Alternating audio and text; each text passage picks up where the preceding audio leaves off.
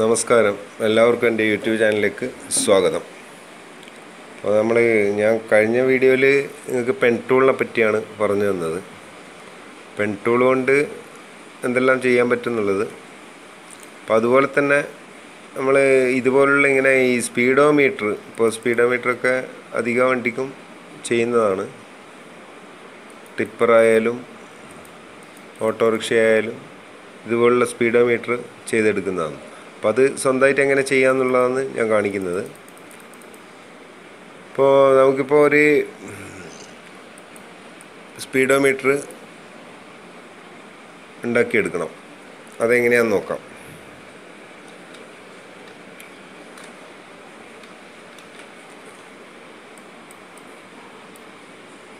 ഇതുപോലുള്ളൊരു speedometer ചെയ്തെടുക്കണം. അത് നോക്കാം.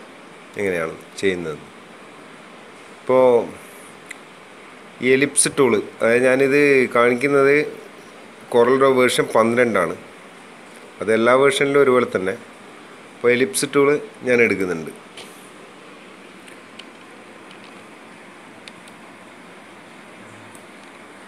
കൺട്രോൾ പ്രസ് ചെയ്ത് ആ കീബോർഡിൽ കൺട്രോൾ പ്രസ് ചെയ്ത് പിടിച്ച് ഒരു സർക്കിൾ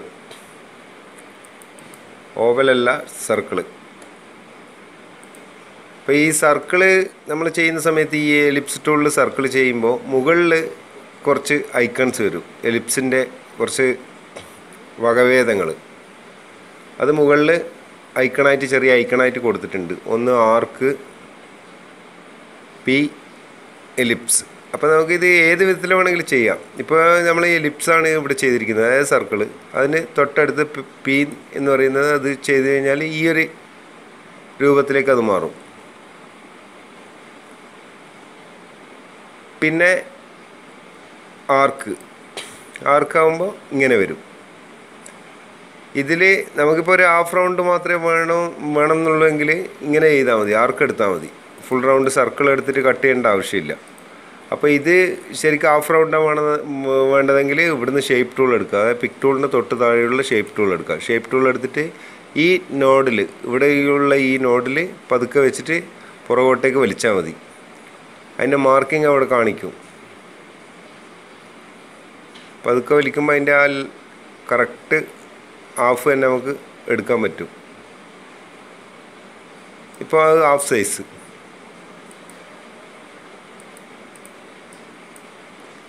സർക്കിൾ തന്നെ അതിന്റെ നേരെ പകുതി. ഇപ്പോൾ നമുക്കിപ്പോൾ സർക്കിളിൽ തന്നെ ചെയ്തിട്ട് ഞാൻ കാണിക്കാം. ഇത് ഞാൻ ജസ്റ്റ് സൂചിപ്പിച്ചതേ ഉള്ളൂ.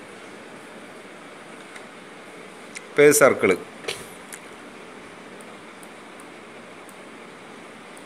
അപ്പോൾ ഇത് പേജ് സെന്റർ ഞാൻ കൊടുക്കുന്നുണ്ട്. അതായത് കീബോർഡിൽ പി. കീബോർഡിൽ പി അടിച്ചാൽ അതിന്റെ പേജിന്റെ സെന്ററിൽ നമ്മൾ ഒബ്ജക്റ്റ് സെൻട്രലായിട്ട് വരും. ശേഷം ഞാൻ ഒന്നുകൂടെ അതിൽ ആ റൗണ്ടിൽ ക്ലിക്ക് ചെയ്യുന്നു. ക്ലിക്ക് ചെയ്തിട്ട് മുകളിൽ ഈ റൂളറിന് അടുത്തായിട്ട് വെറുതെ മൗസ് വെച്ച് ഒന്ന് താഴേക്ക് വലിച്ചാൽ അവിടെ ഒരു ലൈന് വരും. ആ ലൈന് അതിന്റെ ആ സെന്റർ പോയിന്റിൽ വെർട്ടിക്കലും ഓറിസോണലും വേണം വെച്ചിട്ടുണ്ട്. അപ്പോൾ ഇപ്പോൾ ഇനി അടുത്ത ലൈന് സൈഡ് പാനലിൽ നിന്ന് ഞാൻ എടുത്ത് അതും സെന്റർ ചെയ്ത് വെച്ചിട്ടുണ്ട്. ഇപ്പോൾ ഇതിന്റെ സെന്റർ പോയിന്റ് ഇതാണ് ഈ സർക്കിളിന്റെ സെന്റർ പോയിന്റ് ഇവിടെയാണ് വരുന്നത്. ശേഷം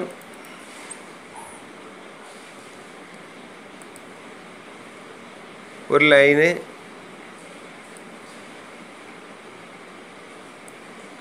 ഞാൻ ഒരു റെക്റ്റാങ്കിൾ ചെറിയൊരു റെക്റ്റാങ്കിൾ ഞാൻ കറക്റ്റ് ലൈറ്റ് ആ ലൈന്റെ ലൈറ്റ് വെക്കുന്നുണ്ട്. കുറച്ചുകൂടെ സൂം ചെയ്താൽ കറക്റ്റ് സെന്ററായിട്ട് തന്നെ വരും.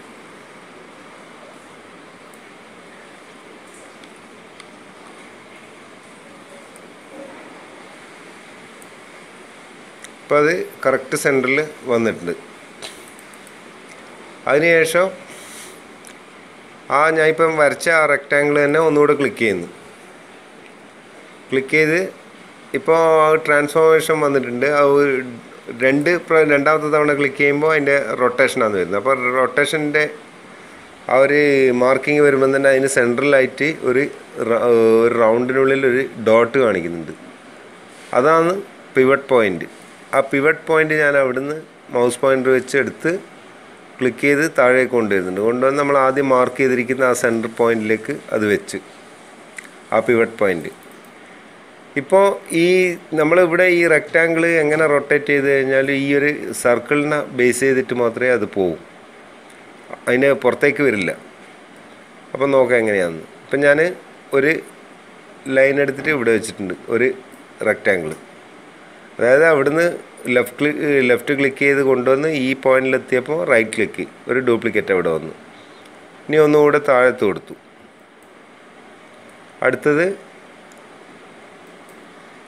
ഇങ്ങനെ വെച്ചു. ശേഷം ഈ രണ്ടെണ്ണം ഞാൻ സെലക്ട് ചെയ്യുന്നു. സെലക്ട് ചെയ്തിട്ട് ആ സെന്റർ പോയിന്റ് ഒന്നുകൂടെ ക്ലിക്ക് ചെയ്യുന്നു. ക്ലിക്ക് ചെയ്തിട്ട് ഒരു റൊട്ടേഷൻ വീണ്ടും അത് തന്നെ ആവർത്തിക്കുന്നു.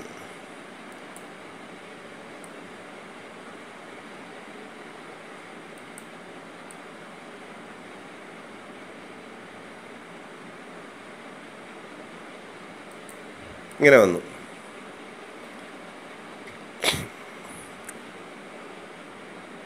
ഇനി ഇതിന്റെ ഒരു ചെറുത് വേണം. ചെറിയൊരു റെക്റ്റാങ്കിൾ അപ്പോൾ ഞാൻ അത് ആദ്യം നമ്മൾ വരച്ച ആ റെക്റ്റാങ്കിൾ ഞാൻ ഒന്നുകൂടെ സെലക്ട് ചെയ്ത് അത് കീപാഡിൽ ന്യൂമറിക് കീപാഡിൽ ഒരു പ്ലസ് അപ്പോൾ ഒരു ഒരു ഡ്യൂപ്ലിക്കേറ്റ് അവിടെ വന്നിട്ടുണ്ട്. അത് കുറച്ച് ചെറുതാക്കുക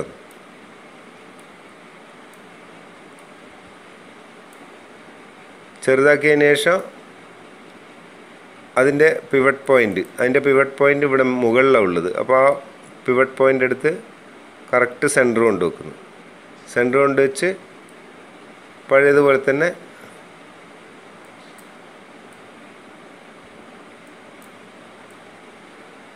ഡ്യൂപ്ലിക്കേറ്റ്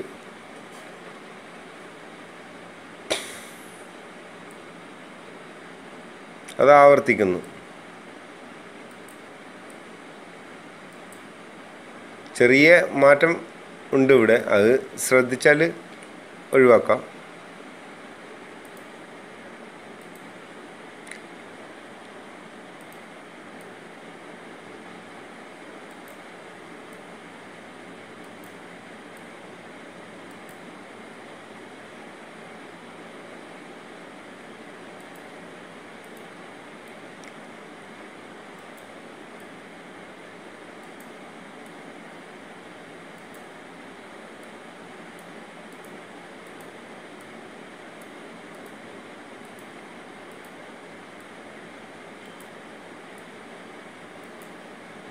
ഞാനൊരു സുമാർ കാണിക്കുന്നതാണ്.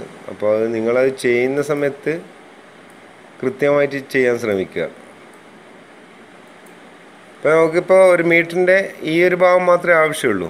താഴ്ഭാഗം ശരിക്കും ആവശ്യമില്ല. നമ്മൾ ആ സെന്റർ പോയിന്റ് കിട്ടേണ്ട ആ ഒരു ഇതിൽ അത് മൊത്തത്തിൽ വെച്ചെന്നേ ഉള്ളൂ.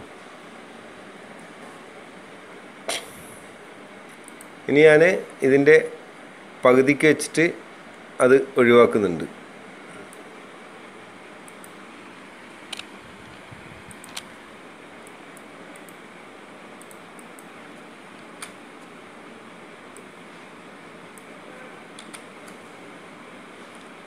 ഇപ്പം ഇങ്ങനൊരു അതിന്റെ ആ മീറ്ററിന്റെ ആ ഒരു രൂപരേഖ നമുക്കിപ്പോൾ കിട്ടി. ഇനി ഇതിന്റെ ഈ നമ്മൾ ആദ്യം വരച്ച ആ പെൺ ടൂളിന്റെ ആ ലൈൻസിന്റെ വിത്ത് കുറച്ച് കൂട്ടണം. അപ്പോൾ ഞാനിവിടെ പെൺ ടൂളിന്റെ ഔട്ട്ലൈനിന്റെ ഓപ്ഷൻ എടുക്കുന്നുണ്ട്. ഔട്ട്ലൈൻ ടൂൾ അപ്പോൾ അതിൽ രണ്ട് പോയിന്റ് രണ്ട് പോയിന്റ് പോരാ. കുറച്ചുകൂടെ കൂടണം. അപ്പോൾ ഞാനിപ്പോൾ അത് കൂടുതലായിപ്പോയി. ഇത്തിരി കൂടെ കുറക്കണം. ഈ ഒരു പോയിന്റിലേക്ക് കൊടുത്തിട്ടുണ്ട്.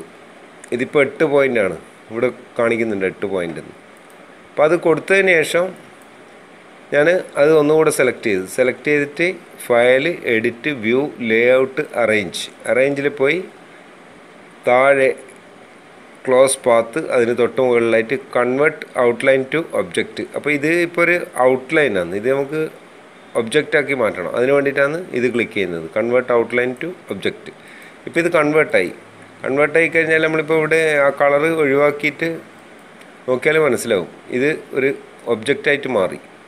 ഇപ്പോൾ നമുക്ക് ഈ ഒബ്ജക്റ്റിന്റെ മുകൾ ഭാഗം മാത്രമേ ആവശ്യമുള്ളൂ. താഴെ ആ ലൈൻ അത് ജോയിന്റ് ആവശ്യമില്ല. അപ്പോൾ അത് ഞാൻ ഒഴിവാക്കുന്നുണ്ട്.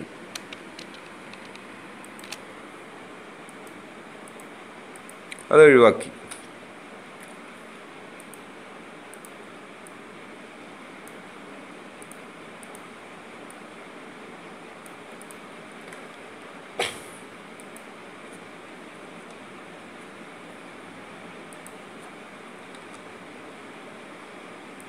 ചെറിയൊരു അഡ്ജസ്റ്റ്മെന്റ് ചെയ്യുന്നുണ്ട്. അപ്പോൾ ഇത് ഇങ്ങനെ ഒരു രൂപം കിട്ടി. മൊത്തത്തിൽ സെലക്ട് ചെയ്ത്. സെലക്ട് ചെയ്തതിന് ശേഷം വെൽഡ് സോറി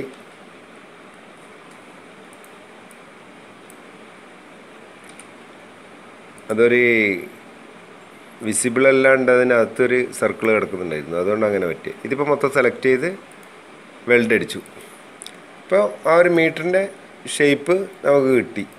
ഇനി പുറത്ത് നമുക്കൊരു ഔട്ട്ലൈൻ വേണമെന്നുണ്ടെങ്കിൽ ഞാൻ ആദ്യം പറഞ്ഞതുപോലെ ആ സർക്കിൾ ടൂൾ വെച്ചിട്ട് ആ എലിപ്സ് വെച്ചിട്ട് റൗണ്ട് ഒന്ന് ക്ലിയർ റൗണ്ട് എടുത്തിട്ട് വരച്ച് ചേർക്കാവുന്നതേ ഉള്ളൂ.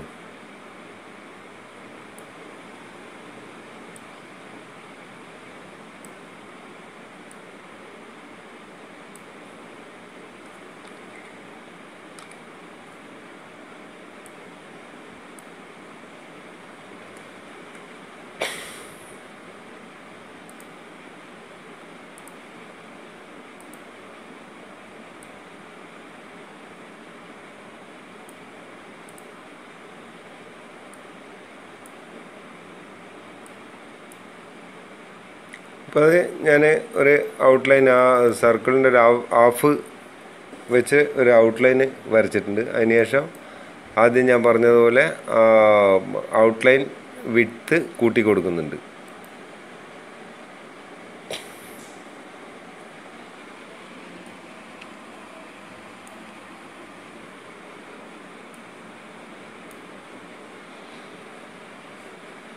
അതിനുശേഷം file edit view layout arrange convert outline to object അപ്പോൾ അത് ഒരു ഒബ്ജക്റ്റായിട്ട് മാറി. അപ്പോൾ അതിന് ഞാൻ റെഡ് കളർ കൊടുത്തിട്ടുണ്ട്. താഴെയുള്ളതിന് ബ്ലാക്കും ഇനി നിങ്ങൾ ഇതിനകത്ത് ആവശ്യമുള്ള നമ്പർ ആഡ് ചെയ്താൽ മതി. മീറ്റർ ചെയ്ത ഇത് ഈ ഒരു റൗണ്ടിന് പകരം നമുക്ക് വേറൊരു വേർഡ്സ് വേണമെങ്കിൽ അങ്ങനെയും കൊടുക്കാം. എക്സാമ്പിളായിട്ട് ഇതിപ്പോൾ